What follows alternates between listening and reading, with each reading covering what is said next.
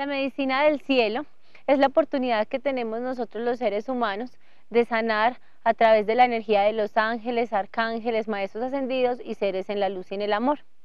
A través de la sanación de la medicina del cielo, nosotros aprendemos a autocuestionarnos, autoobservarnos, aprender sobre las leyes universales, que son las leyes que nos enseñan a vivir en el plano tierra y de esa manera entonces vivir de una manera más coherente, armoniosa y amorosa.